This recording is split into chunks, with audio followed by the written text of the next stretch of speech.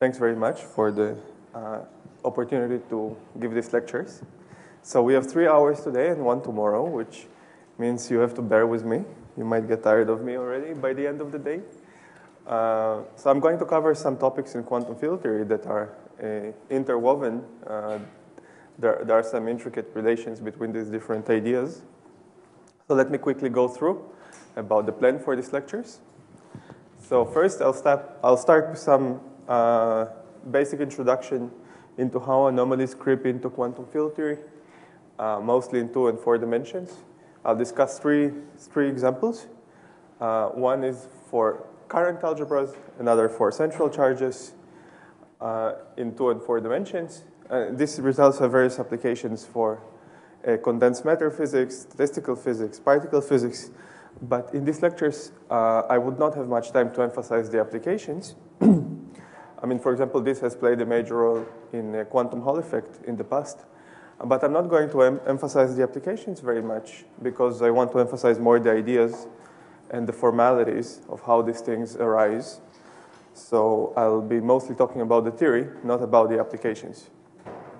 if somebody wants to know about the applications, we can maybe discuss it uh, later in the day or during some break. And so that would be the first part, some uh, very simple anomalies and how they creep into quantum field theory. The second part is going to be more advanced. I'm going to try to define a geometry in the space of theories, and then I will apply these ideas for Seiberg-Witten theory, in which there is some space of models, and one can try to compute the geometry in the space of models. Uh, and that would be related to some other anomaly, so which I will call B-type rather than A-type. So their first part would be about this A-type, the second part would be about B-type, and there would be an application to Seiberg-Witten theory, in which I will show you that you can compute exactly some uh, properties about theory space. So this, these ideas are a combination of new and old ideas, but this is, this is completely new. Uh, and then the last lecture I'll devote to a topic which is uh, completely different about the S matrix of QCD. Uh, it has some interesting ideas, and it's more like uh, a teaser to, I think, some progress that can be made in this field rather than a lecture in which I'll present some complete results. Okay, now because we have like uh, three hours today, instead of me speaking, uh, it would be very nice if you ask lots of questions and it would be a more interactive session. Otherwise, what I'll end up doing is to basically reciting my notes, which I'll put online today. So there are 70 pages of notes. Uh, they're, very, they're somewhat disorganized, but uh, the gist is there. Uh, so if you don't ask questions, what I'll end up doing is to recite my notes, uh, which would not be very interesting. So, okay, so please ask questions. So let me just start with a little bit of motivations. Uh,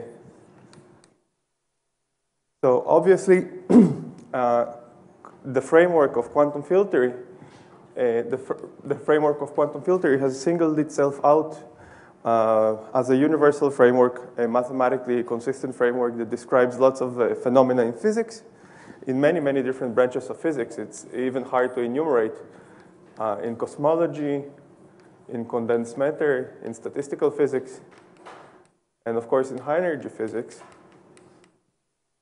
uh, and even in stochastic processes. So even people uh, who study stock market, they need to know a little bit of quantum uh, uh, field theory. And in the, each of these instances, the reason that quantum field theory emerges is uh, somewhat different. Uh, so in condensed matter physics, uh, of course, quantum field theory emerges because you can have particles generated from the vacuum and things like that. And the same, and, and you have sometimes emergent relativistic invariance. So you can even get to, you even get to study relativistic quantum field theories in statistical physics.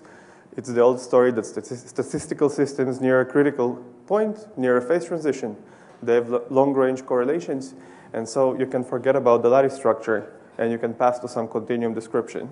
That's how uh, people understand nowadays critical phenomena, which you must have heard about from Slava. Uh, in high energy physics, obviously we have Lorentz invariance, and so uh, we can have particles generated from the vacuum, so we need to use this framework and so on. So this is a very, very universal framework that can be used to describe many different physical ideas. And so it's obvious that anything that we can say about quantum field theory, any general statement that we can make about quantum field theory is going to be useful for many, many people, many branches of physics. And uh, we're still exploring the basic structure of quantum field theory, even though it's four decades old, the framework. We're still trying to explore uh, to what extent uh, we understand the intricacies of the theory, we understand the basic, the basic results in the theory, and so on and so forth. So um, the general picture that uh, of the general understanding of quantum field theory comes from Wilson's ideas. What Wilson said is that uh, basically you can think about quantum field theory as an evolution process of some sort. So if you look at very, very short distances, so this is going to be, let's say, short distances. So in, in consistent quantum field theory, okay, in consistent quantum field theory, the short distance physics is described by some scale invariant model. And also the very long distance physics is described by other scale invariant model. So there is some scale invariant model here. And in the middle, there is some crossover behavior which is characterized by some scale. So there would be some scale, which in particle physics conventions, you can think about it as an inverse mass scale. So there is some crossover from one scale invariant theory at short distances to another scale invariant theory at long distances. And the critical exponents here, so we characterize scale invariant theories by the correlation functions. And the correlation functions in scale invariant theories are some power laws. And these power laws have some exponents gamma n in the infrared, and here there are some other exponents gamma n in the UV. And the crossover interpolates between one set of, one set of exponents to another set of exponents. So that's the general framework that Wilson uh, gave us for quantum theory. So what is the job, what, what is our job in quantum field theory? So this, this kind of scenario is realized, of course, in many instances in particle physics, statistical physics, condensed matter, and so on. For example, one of the first one of the first examples was, for example, was a, for instance, a, renormally, a flow from the tricritical model to the Ising model, and this is something that has been observed experimentally long time ago. Um, and there are lots of dozens or hundreds of or thousands of other examples where we've seen this picture happening in nature. So what, is, what are the interesting questions that we can ask? So the interesting questions could be structural, which is what is the connection between these exponents and these exponents? This is one sort of question that you can ask. Can we go from any scale invariant theory to any other scale invariant theory? Or are there constraints? Are, are there constraints that if we specify the scale invariant theory here, there is no crossover that would lead us to some given scale invariant theory here? Uh, you can ask the question of, given a scale invariant theory, can it be the bottom of this crossover behavior? Or maybe it doesn't have any way of uplifting it into what we call a flow. So this is called an RG renormalization group flow. A renormalization group flow. So you, these are sort of structure, structural questions that you can ask of uh, when can a given model be understood as sitting here or here when there is a crossover behavior you can ask, this is one set of, set of questions. Another set of questions is about what's happening at the crossover scale. So the crossover physics could also be very interesting. For example, deep inelastic scattering, which is a, an interesting experiment in quantum chromodynamics, is more about the cross, what happens here, very near the fixed point. This is called the fixed point, the scale invariant theory in the UV. This is more about the physics near the, in the crossover regime, but not very far from the fixed point. Uh, QCD, the hadronic physics, is more about the crossover scale. In uh, statistical physics, critical behavior, these critical exponents that you read about in the books in statistical physics, are about this regime. So not quite the scale invariant point, but very close. That's how you read out critical exponents in statistical physics. So uh, there are different applications of studying the crossover regime, this scale invariant theory, this scale invariant theory.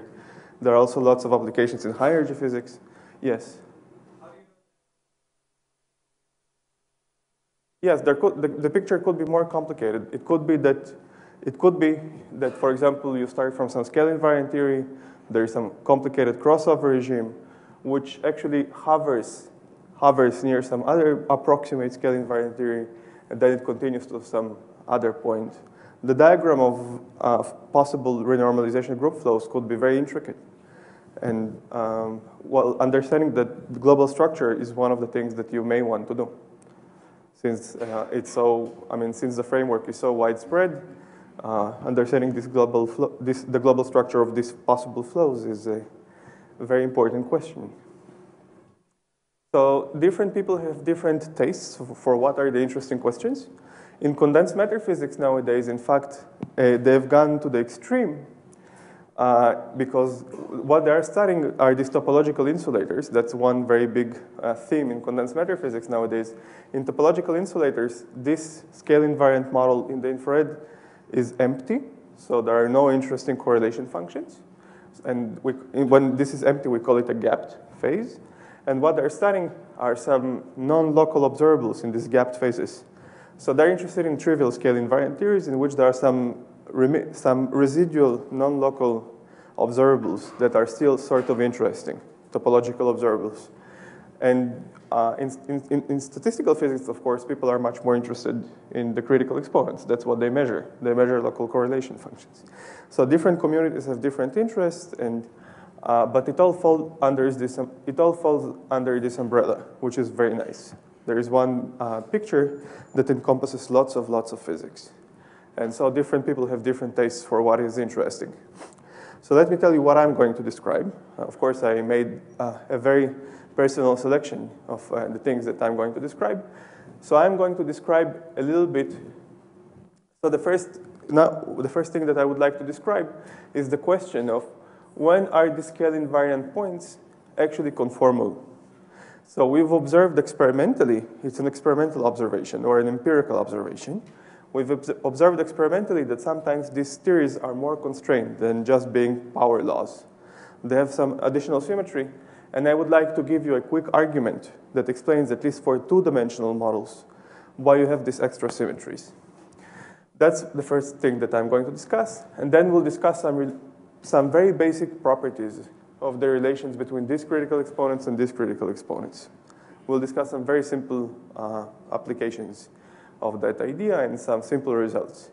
And then I'll try to describe more collectively the geometry of all the possible theories. So there's some geometric there is some geometric manifold of all the possible theories and all the possible renormalization group flows, and you can define an interesting geometry and study it. And you can even make exact computations in some supersymmetric theories, which allow you to learn about uh, the space of theories.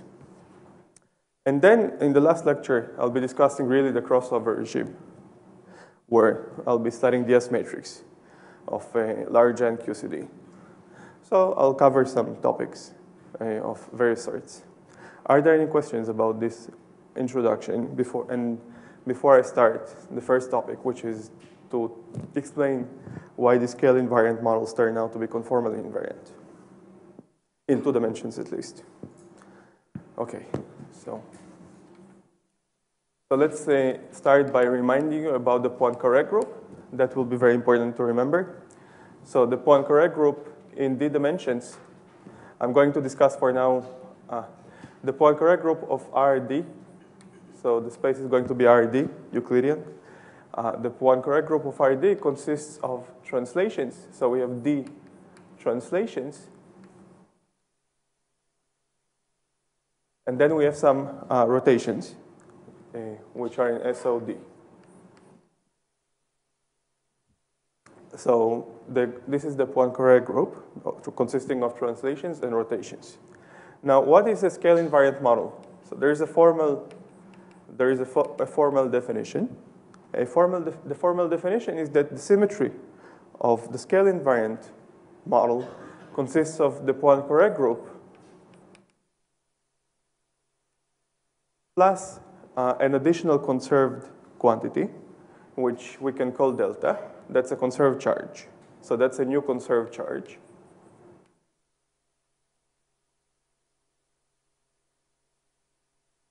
which acts on the coordinates by multiplication. So that allows you to rescale. And once you add this, once you add this conserved charge to the theory, then everything has to be a power law, because uh, when you measure correlation, when you study, let's let's say now correlation functions of two local operators, phi one and phi two, this would be at x and this would be at zero without loss of generality. If this has scaling dimension delta 1 and this has scaling dimension delta 2, which eh, I'm sure Slavic talked to you about, then we have to write the following formula.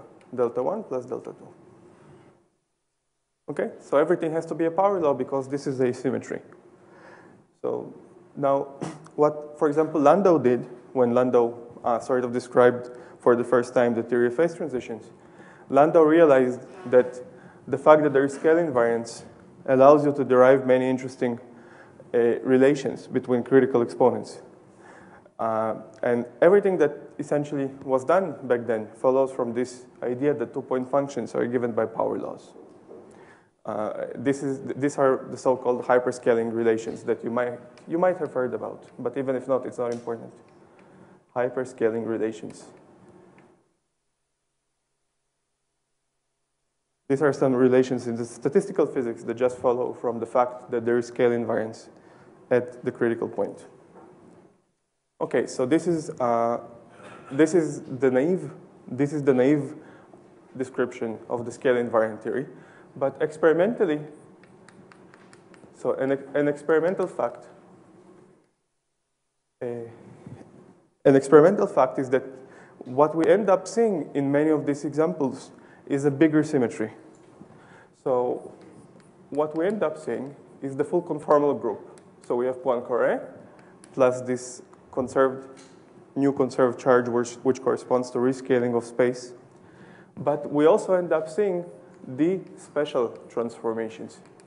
Special conformal transformations.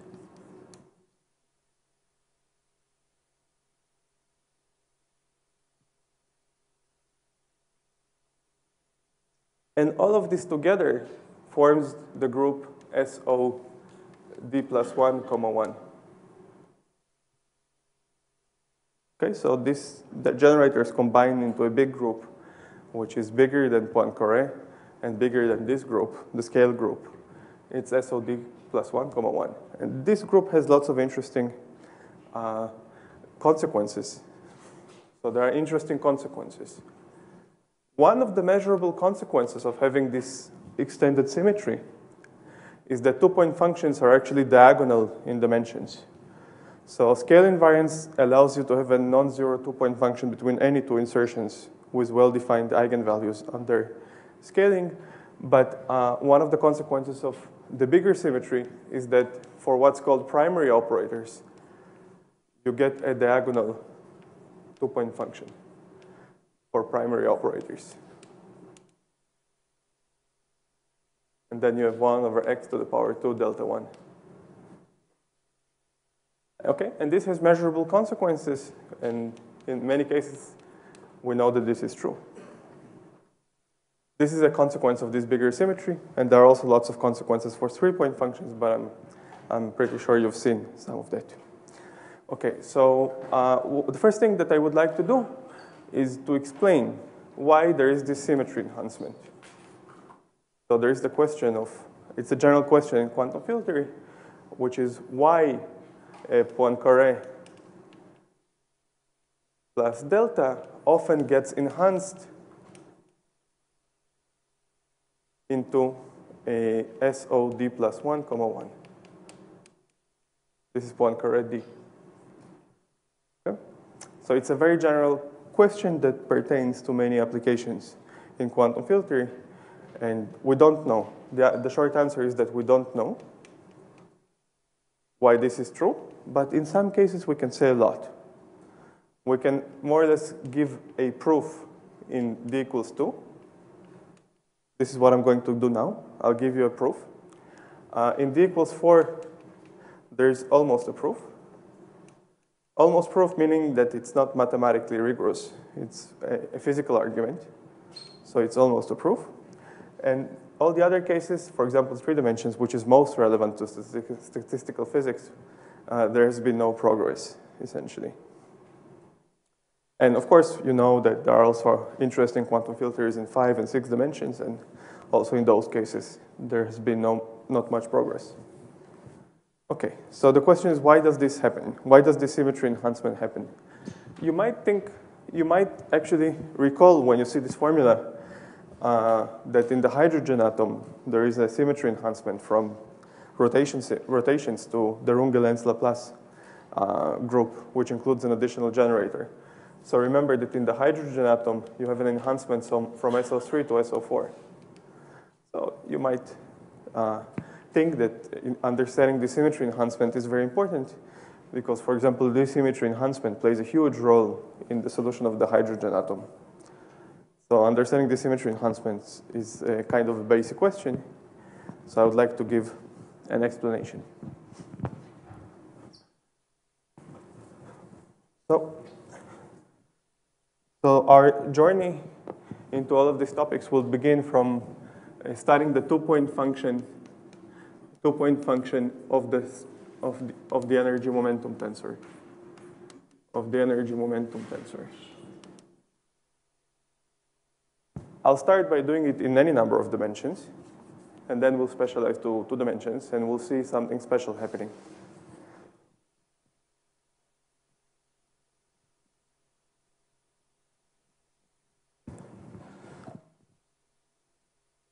So that's the object that I would like to study. I'm going to do it in momentum space uh, because it's uh, slightly more convenient and one doesn't have to worry about uh, various issues that arise in position space.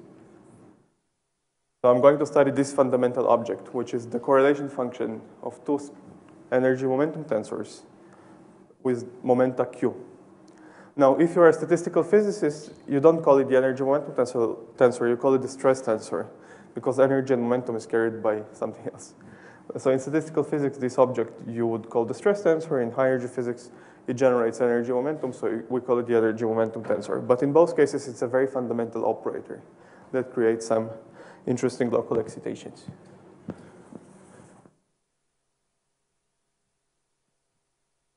So we're going to try to fix this two-point function, but what are we going to assume? So what I would like to assume is just Poincare. Okay? And we'll do it in steps. We'll first assume Poincare, then we'll assume scale invariance, then we'll see that you can prove that conformal invariance emerges. So this bigger group emerges in two dimensions at least. Uh, and then we will go further uh, to prove various interesting structural theorems about this two-point function. So we'll just use Poincare. So if you use Poincare, you just have to satisfy the various symmetry conditions. So it has to be symmetric in mu nu, it has to be symmetric in rho sigma, and it has to be conserved. Uh, the conservation is the big deal that we'll worry about a lot. Uh, so remember that there is this classical equation whereby this is conserved. And we'll worry a lot about these conservation equations. You'll see that sometimes we cannot satisfy it, sometimes we can satisfy it. We'll see various interesting applications. But I just have, I want to make a small digression to explain what does this equation mean. You probably saw this equation. You've probably seen these equations many, many times. But what does it actually mean? So when we write a general equation that some operator, some quantum operator, is equal to zero, it has a precise mathematical meaning. The mathematical meaning is that at separated points, when you insert this operator, you get zero. But at coincident points, you might need to be careful. So this is an equation that always should be interpreted at separated points. So what it means is that if we insert this operator at some point x1, and then there are lots of other operators, and x1 is different from all the other xi, which sit here, then this vanishes. This is the mathematical meaning of a vanishing operator that at separated points, it gives rise to vanishing correlation functions. But sometimes you cannot uphold these equations at coincident points. This is where anomalies arise and various other issues creep in. Now, in momentum space, remember that when you do a Fourier transform, you integrate over all the possible positions with some weight. And therefore, imposing conservation equations in momentum space is always subtle. And this will be a major theme that we'll discuss. You cannot quite impose these conservation equations right away in momentum space. You have to think what corresponds to separated points and what corresponds to coincident points. If you try to impose conservation equations, you get wrong, inconsistent results, as you'll see. Okay, so let's start by just writing all the possible Poincare invariant pieces, and then we'll discuss the conservation equation. So there are two possible tensors you can write. One in which there are contractions across the two energy momentum tensors, and the other is when there are only contractions uh, in pairs, as you'll see. Uh, just I wanted just to make a to remind also that uh, the energy momentum tensor is symmetric in its indices. So this is how the structures are, conserved, are, are constrained. So one possible co contraction is q mu q rho minus eta mu rho q squared times q nu q sigma minus eta nu sigma q squared.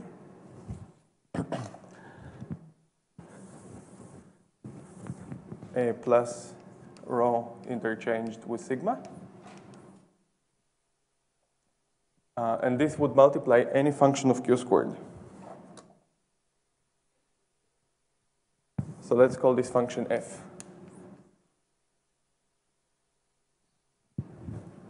And then there is another possible contraction, which looks like q mu, q nu minus eta mu nu, q squared times q rho, q sigma minus eta rho sigma, q squared. Then there is g of q squared. So these are two tensors that you can write down. So there are two functions, f and g. and I've chosen the tensors in such a way that the conservation equation is obeyed. But you'll see that it's a little bit subtle. We'll discuss more why did I choose these particular tensors, when is it really obeyed, when is it not really obeyed, and so on. This is just a naive first attempt that implements this equation. So in momentum space, this equation can be written as q mu nu, t mu nu equals zero. So in general, there are two functions that appear here, f and g. The first claim that I want to make, these functions would in general be functions of the crossover scale of the momentum over the crossover scale. Okay? So in scale invariant models where there is no external crossover scale, this would be some homogeneous function that we'll try to fix. But in general, it could be a function of the momentum over the crossover scale. So one interesting claim that you can make, you'll see, I'll, I'll, I'll derive this claim later from another point of view, but you can already, you can, you can try to prove it also from this point of view, is that if the number of dimensions is 2, then f and g are, are linearly dependent. So they are not different functions. They are not different tensors. So the claim is that this tensor and this tensor in two dimensions are actually the same. Not independent. So they are not independent.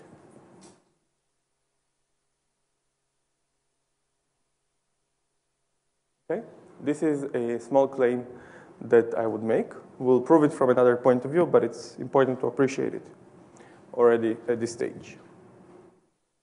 Okay, so now I'd like to talk about uh, what happens if we impose scale invariance.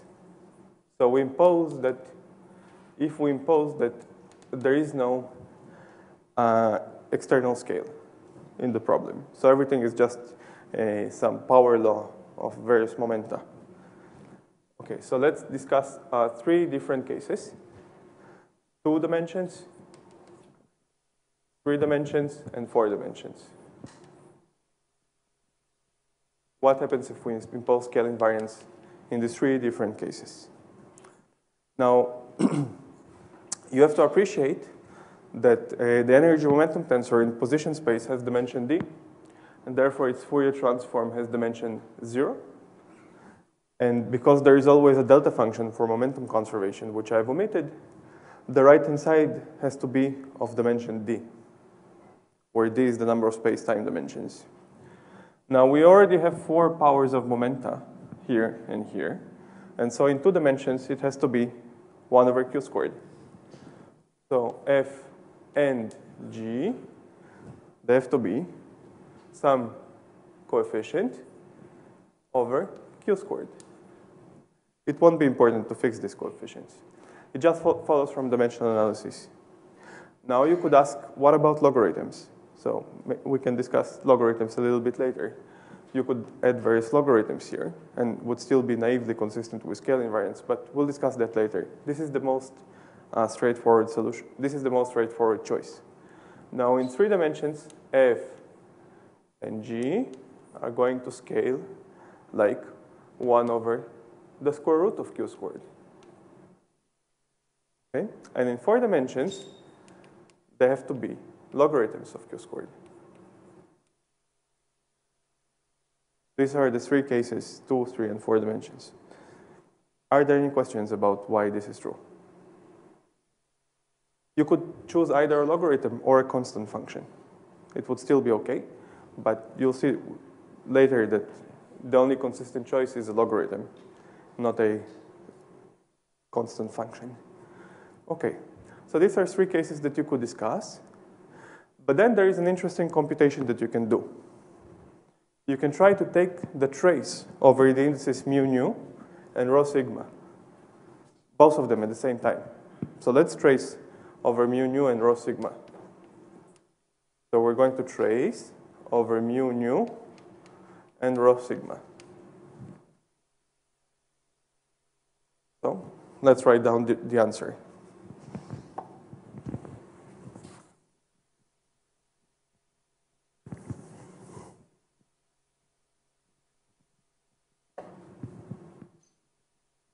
So we, get to study t mu mu of q, and then t rho rho of minus q. And we'll do it again in 2, 3, and 4 dimensions, uh, up to these coefficients that I haven't fixed. So let's start from 2 dimensions.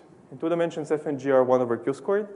So if we trace over q, if we trace over mu nu and rho sigma, this would be q to the 4, this would be q to the 4.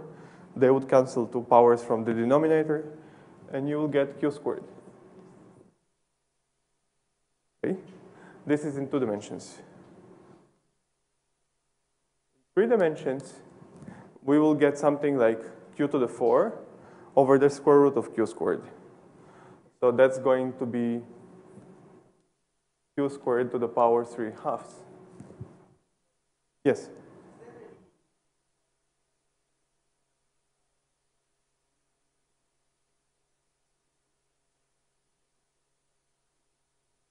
Yeah, so if you take TQ, TP, that's what you're asking, right? Then in general, this would be a delta function in the dimensions of Q plus P. Why? Because if you create an excitation of momentum P, it has to be absorbed in the vacuum with momentum uh, P. So this creates an excitation from the vacuum with momentum P, and then it gets re what, does, what this describes in the language of statistical uh, physics is that you create an excitation of some momentum p, and then it, uh, it is absorbed sometime later in time. And so it has to be absorbed with the same momentum because we're doing it in the vacuum. Of course, if you do this kind of, uh, if you do these correlation functions in the presence of some non-trivial medium, then some momentum can dissipate into the medium, or some momentum can be extracted from the medium. And then you don't have a delta function. But I'm doing these computations now in the vacuum, uh, where no momentum can be absorbed or extracted from the vacuum. Okay, so uh, I was, so, so I get q to the 4. In four dimensions, we get q to the 4 times logarithm of q squared. Okay, these are the three cases that we've got. Now, uh, the most striking uh, fact about this uh, about this result is that this is a pure. This is the only case in which you get a pure polynomial. So this is a pure polynomial.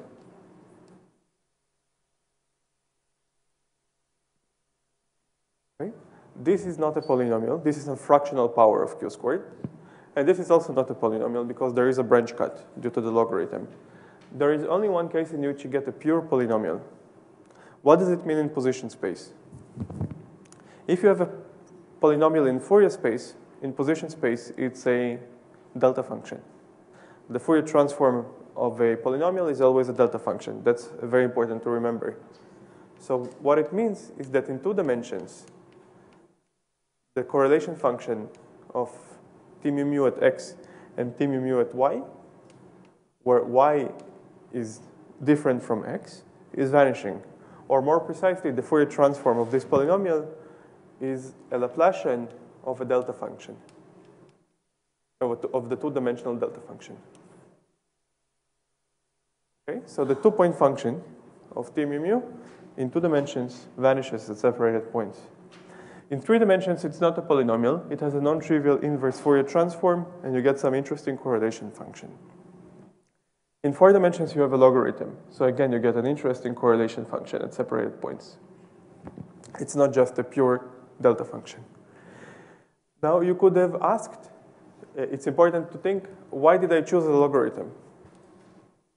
If I had chosen a constant, which is also consistent with the naive scaling, then this would be also a polynomial, and then I would also get something like that in four dimensions. But let me explain why this is uh, not the right choice. If I had chosen here, if I had chosen here a constant, then all the components of the energy momentum tensor with all the other components of the energy momentum tensor would be pure polynomials. Because this is a polynomial and this is a polynomial, so this would be a constant, you would get pure polynomials. And therefore, all the correlation functions of the energy momentum tensor would not have support at separated points. And that would contradict unitarity and various other things. It would mean that the energy momentum tensor is a trivial operator, which is not good. In two dimensions, this choice does not uh, trivialize the two-point functions. It only trivializes one component, which is the trace of the energy momentum tensor. And so it's okay. But in four dimensions, this is the right choice, and therefore it's not a polynomial. Now, if you have, yes? Which more general situations? Oh, okay, so there is a great question of why didn't I add a log of q squared? That's the question. Okay, let's discuss that. If I had chosen to multiply it with a log q squared, then indeed this would not be true and the conclusion would not follow. But let me explain physically why, uh, let me explain why this is not allowed. So you see, what I'm imposing here is scale invariance. Like any other symmetry or, op or operator equation, this should be upheld at separated points. So when we do the Fourier transforms back to position space, the correlation fun functions have to be pure power laws, even at separated points. Uh, sorry, at separated points. They have to be pure power laws. Now, if you had the log q squared, you would need to divide by some scale, mu squared. Okay, just for dimensional analysis. And if you change the scale from mu to mu prime, the difference is going to be a over q squared. And when you plug it here, you get something that is not a polynomial. So you violate scale invariance even at separated points. So if I had put a log here, that would mean that there is no scale invariance even at separated points in this model. Okay, so there are no critical exponents. This log is different. Now you can start saying what's, when, when can we add a log and when we cannot add a log. In this log, if we change the scale from mu to mu prime, the difference between the two logs is constant. We look, and, and therefore, it corresponds to a pure polynomial in momentum, which only has supported coincident points in position space. And therefore, it's okay. So this log does not violate scale invariance, which is what we're assuming, but this log does violate scale invariance. So we're not allowed to put it here. And therefore, this result is inevitable. Okay, now one final uh, general comment that I wanted to make before I proceed is that in quantum field theory, if we have an operator and its Hermitian conjugate at, let's say, x and 0, if this vanishes for all x, sorry, uh, yeah, if this vanishes, then uh, for x not equal to 0, then the operator is trivial. in, this is in, in good unitary uh, theories where there are no imaginary parts in the action. This is like a norm of a state. You can think about it as a norm, and therefore if this vanishes, then the operator itself vanishes. When it acts on the vacuum, it doesn't create anything. For if it created something, you would have a non-zero result. You just imagine inserting a resolution of the unity in the middle, and you would get that this is true. So if the two-point function vanishes, the operator vanishes at separated points. And so we conclude that in two dimensions, T mu mu has to vanish. Okay, we just proved that. It follows from scale invariance. It's, I've not assumed that there is conformal invariance. It follows from scale invariance that T mu mu vanishes. Now, when if T mu mu vanishes, in conjunction with this condition, you get far-reaching consequences. Namely, you get the full conformal symmetry of two-dimensional models. Let me review why this is true.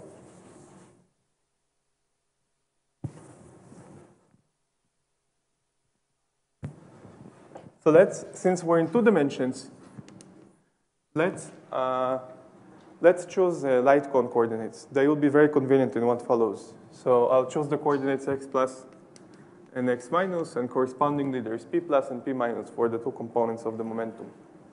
So we can write this conservation equation in light cone coordinates, in p plus minus coordinates. So it reads q plus uh, q plus t plus minus uh, t plus uh, q plus t plus plus plus uh, q minus t plus minus equals 0 and q minus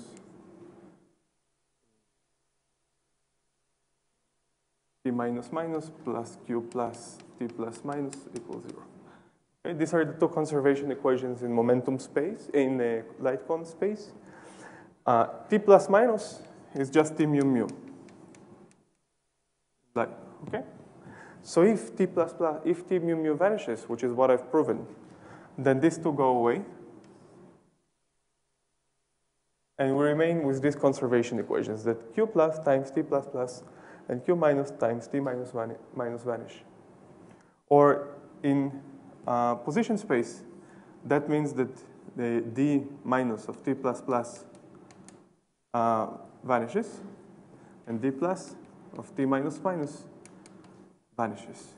Okay? This is something that we've proven based on scale invariance. But if this equation is true, I can multiply t plus plus with any function of x plus. So therefore, it's also true that d minus of any function of x plus times t plus plus vanishes. And d plus any function of x minus of t minus minus vanishes. So you get infinitely many conserved charges if t mu vanishes because I can multiply uh, because I can multiply t plus plus with any function that I want, and that generates the full Virasoro algebra. So that's the infinite dimensional conformal algebra uh, that you certainly heard about in two dimensions. Okay?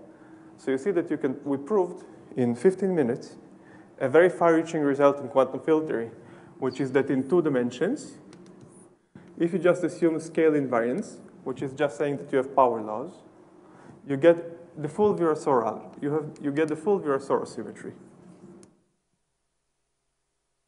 And the only ingredients that went into the proof were unitarity, meaning that I uh, assume that the resolution of the identity uh, is present, and also that all the states have positive norms, and Poincare invariance in, with scale invariance in the usual sense.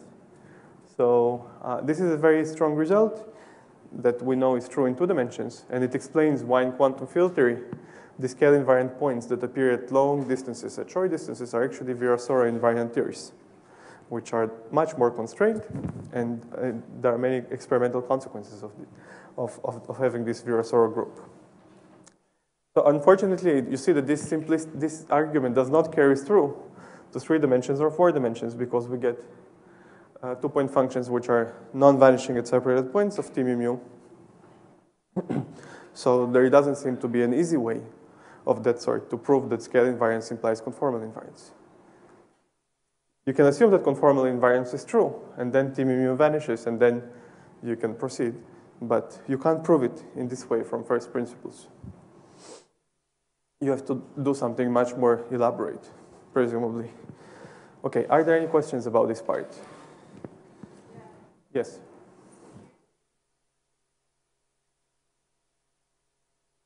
Right. This is like a this is like a local operator. This is just zero as an operator, as a local operator.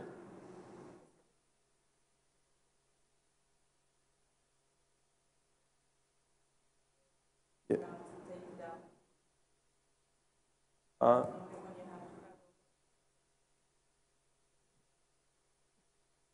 typically, you mean when there is conformal invariance or what? Right, right, indeed. So, yeah, I'll repeat the question. So, suppose, suppose you, so in four dimensions, we can't prove that scale invariance implies conformal invariance. So let me just repeat the question. The question was, uh, what happens if you don't have conformal invariance? That's my interpretation of the question. Then this is not true, but maybe some weaker form of this equation is true. Okay? So indeed, uh, indeed, let me quickly tell you uh, what, what do we know if there is no conformal invariance. So if there is no conformal invariance, then T mu mu does not vanish as an operator. Rather, T mu mu, we know, is equal to the gradient of some other operator. So it's not a completely general operator, it's just the gradient of something. The, I mean the divergence of something. How do we see that? there is this charge that I defined, which exists in scale invariant models.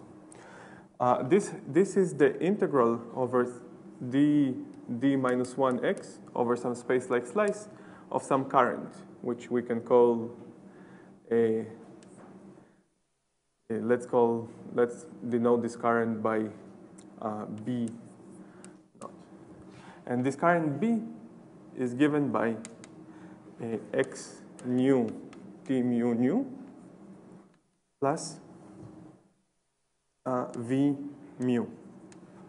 This is a general form for this current, which is conserved and whose integral gives the scale charge. Now, for this current to be conserved, you need to satisfy this equation. Just hit it with nabla mu. Uh, use the fact that the energy momentum tensor is conserved, and you'll get that T is the, the, is the gradient of V. Now, if t vanishes, then the gradient of v vanishes. And then you get many more conserved charges. But if you don't have conformal symmetry, the only thing you know is that the integral of b naught is conserved. And that's it. So the integral of b naught is very close to what you said. It's a, a v naught plus xi, x nu t0 nu. So if there is no conformal invariance, this is all we can say. That there is some operator v whose gradient is whose divergence is t, and that's it. But if you have conformal invariance, you have a much stronger result because you know that this vanishes and this vanishes. You can throw it away, and you have lots of new conserved charges. So conformal invariance is indeed much stronger than scale invariance, but it's not always easy to prove that fixed points have conformal invariance. In fact, Landau did not anticipate it. Landau never used conformal invariance. He just used scale invariance in his theory of second-order transitions. Uh, but I think in the late 70s, or maybe mid-70s, it already became apparent that all the known models do happen to have conformal invariance. And uh, many people wrote early papers on trying to explain that, but still the only case in which it's completely well understood is two dimensions, and to some extent four dimensions. Okay. Uh, now I'm switching to the new topic. Well, it's not completely different. I'm just going to talk about gravitational anomalies, uh, gauge anomalies, and all that. And how they evolve under renormalization group transformations. So let's have this picture in mind. Now we are smarter. We know that this is a conformal field theory. This is some other conformal field theory. I'm going to do uh, two dimensions. I'm going to discuss two dimensions for now. So we're a little smarter. We know that this is the picture, and here there is some crossover uh, in the middle between the two theories. So the question that I'm going to ask now is, are there in interesting quantities that have to be the same here and here? So maybe the critical exponents may change, many things can change, but some things may be preserved under this evolution. Or maybe there are some inequalities along this evolution. So I'm going to study two examples of things that are preserved or have a controlled evolution. Uh, and you'll see what kind of ideas go into that. So I'll start with something simple, which is uh, to suppose that this whole evolution preserves a U1 symmetry. So there is some global symmetry. And then we'll generalize it to uh, central charges and so on. So I'm going to assume that there is some global symmetry. So we have some current, which is preserved everywhere. It's preserved every, everywhere, not just at the fixed points. We just have a, a complete global, a, a, complete honest to God uh, global symmetry that's preserved along the flow. And there are many examples of that sort.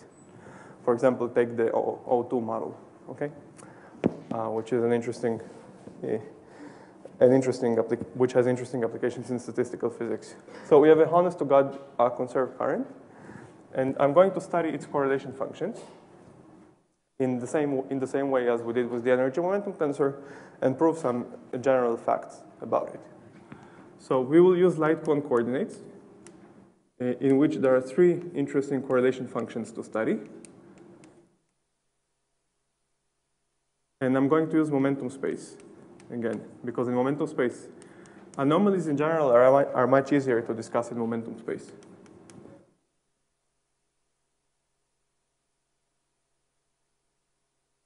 So I'm going to write down the most general possible answer that follows from Poincare invariance. And then we'll use the conservation equation. We'll discover that sometimes it's anomalous, sometimes it's not anomalous, and we'll try to see uh, how does this story go. So just from Poincare invariance, you have to put uh, a p plus squared over p squared times some function which is of dimensionless, dimensionless function of p squared over the crossover scale. How did I get to these ansatz? So the fact that you have to have two powers of p plus is obvious. That's just boost invariance. Now, the fact that A is dimensionless follows from the fact that, the, that a current has dimension 1 in two dimensions. So the dimension of a current is 1, and therefore its dimension in Fourier space is minus 1, and we have a delta function, so this thing has to be dimensionless. This is given by some function b of p squared over m squared, which is some dimensional function, a dimensionless function, and this is p minus squared over p squared times some function c of p squared over m squared. So far, I only used dimensional analysis. Uh, I did not assume scale invariance, just dimensional analysis and boost invariance. And uh, of course, a Poincare, well, the, the full Poincare group. That's what I used so far. Okay, now, uh, so now there is a very interesting and subtle story about what does the conservation equation imply. Okay? So this is a very interesting and subtle story. Perhaps uh, if you haven't seen these kind of things before, that would be extremely confusing and you'll have to think about it, but uh, I'll try to explain it to the best of my ability. So suppose you just imp impose the conservation equation.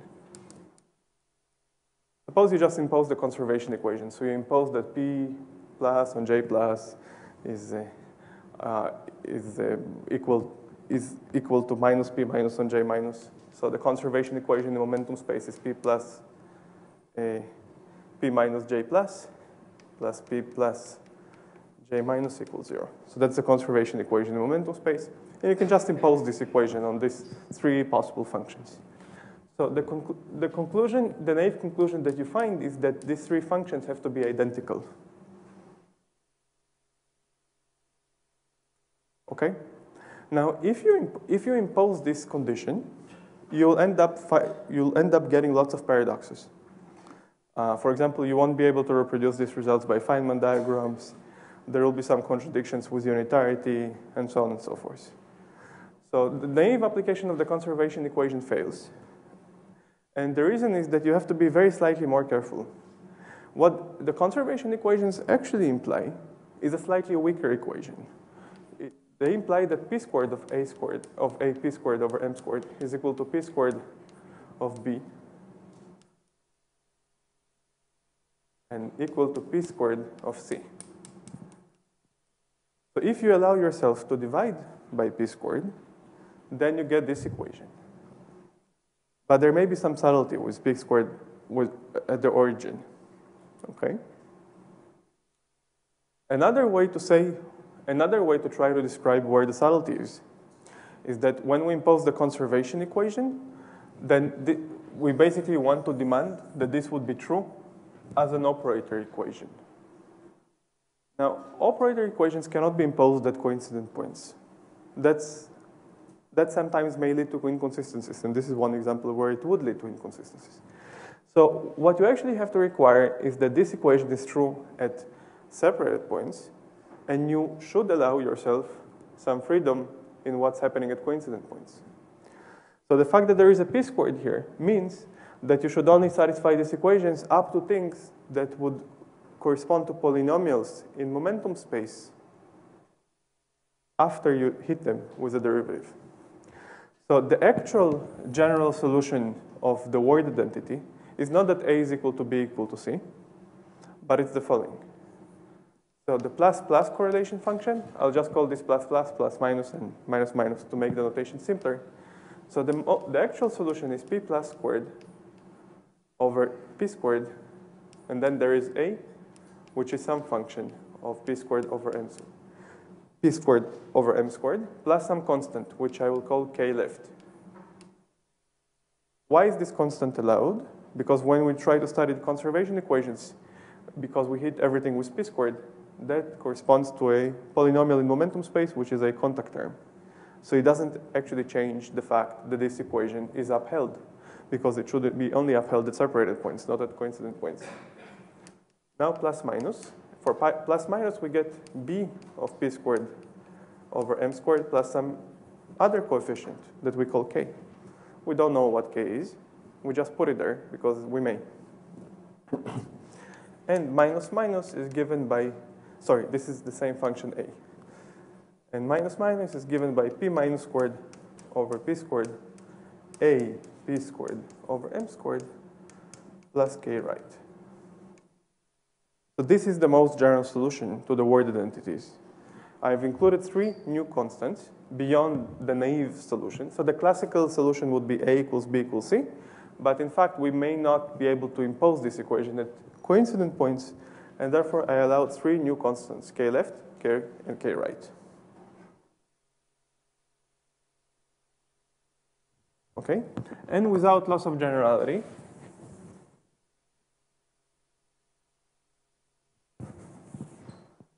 and without loss of generality,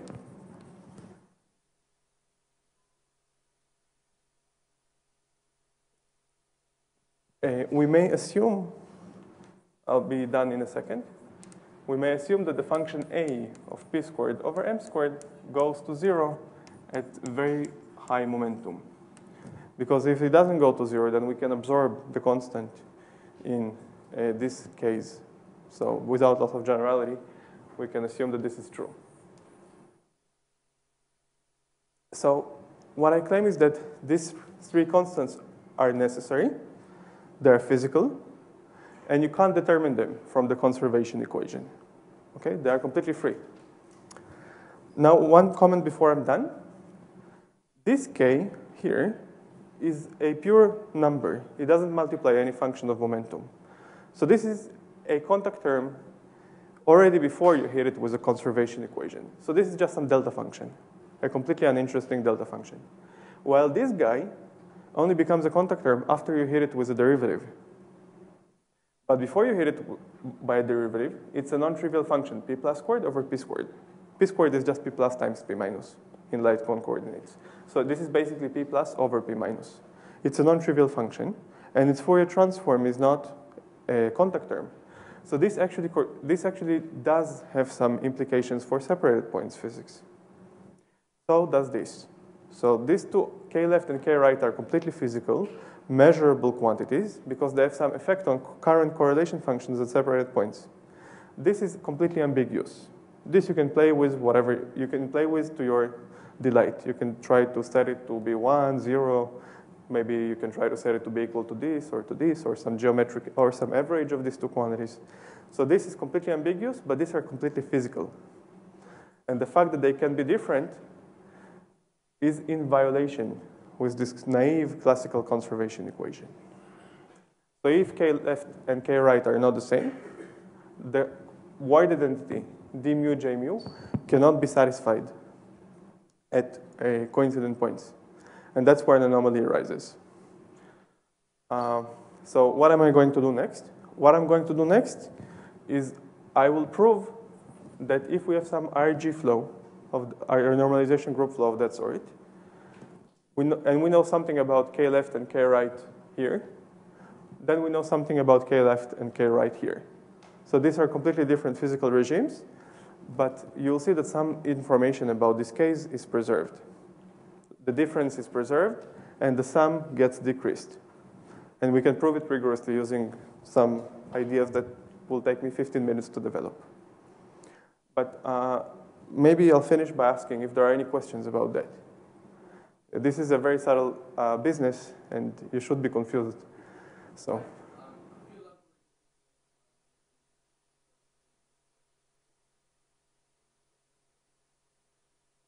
Right, so that's a great question. This is at the core of uh, how uh, anomalies creep into quantum theory. That conservation equations, these conservation equations classically just mean that, you know, uh, like charge is preserved, or, you know, the amount of charge that enters some region is equal to the amount that uh, came from somewhere else. So uh, basically, this just classically means that ch charge is preserved. But in quantum field theory, this is promoted to a local quantum operator, a Hermitian operator in this case. And so when you write this equation, it's an equation about some operators, Hermitian operators detected in some Hilbert space. And you have to understand what does it mean mathematically to write this equation.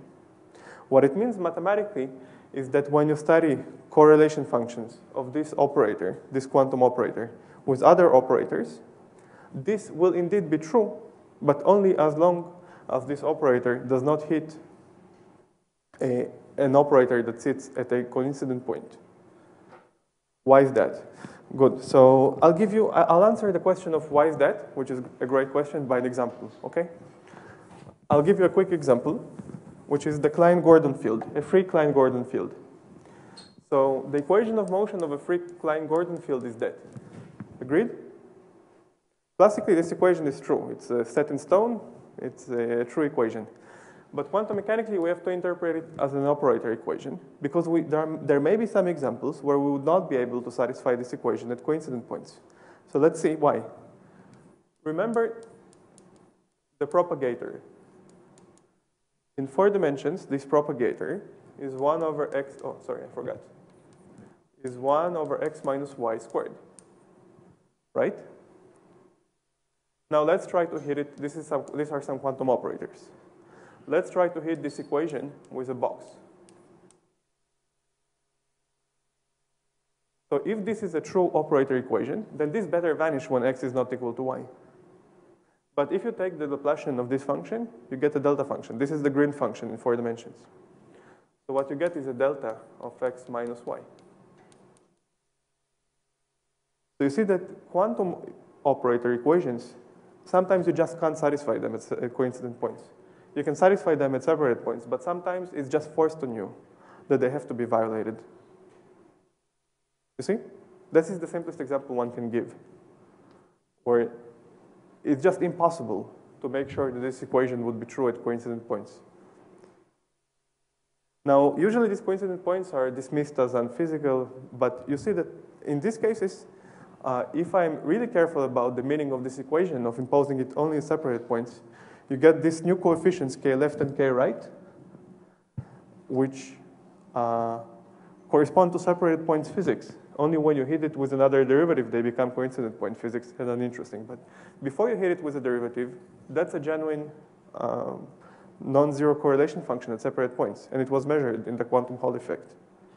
Okay, so in the quantum Hall effect, there is such a, a k left is equal to 1, k right is equal to 0 in some sense. Okay? So this coincident point physics may some, most of the time it comes from some other correlation function which had the supported separate points. Like in this example, the fact that this is non-zero at coincident points can be traced to the fact that there is a propagator, which is physical. So uh, one has to be really careful with these operator equations, because if you were not careful, you would miss the fact that there is k left and k right, and in some models, like a right-moving fermion, you would not be able to write consistent correlation functions. Okay, so just to summarize, uh, are there any other questions about that? Okay. Okay, thanks.